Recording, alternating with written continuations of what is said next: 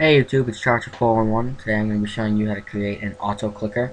Alright, it's not an advanced one, it will only click where your mouse is. Alright, so, but let's get started. First thing you need is you need to program dev C++ from this website. This link will be in the description.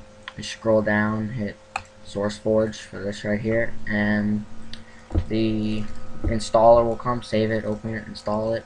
Alright, and once you've done that, dev C++ looks like this and this is actually the auto clicker it's not that big alright? All this code will be in the description. It um, it's, it's, pro it's probably going to be a link in the description that will take you to a website that has the code. So yeah it, will all be there though and you just save it and hit this right here. The, the, you, you need dev C++ this program to run it. So once you compile and run right there the auto clicker pops up. There we go. See? Now, let's say you want to click 10 times, and this is in milliseconds, so 1,000 equals 1 second. So let's put 1 second in between each click, and it's got its little countdown, and then it'll start clicking.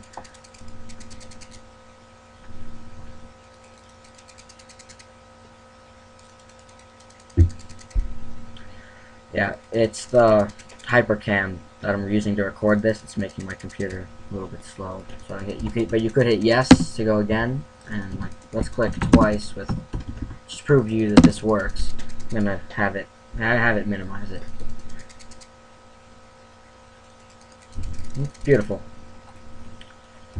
No, it'll just go away, and that's pretty much the easiest way to get an auto clicker. Alright, this other a ton of other videos are going to show you how to get it in Visual Basic. And I tried some of those and they didn't work but this one works great. It's not advanced but it definitely works so. Yeah just copy paste save and execute compile and run or just this button right here. Alright uh, thanks for watching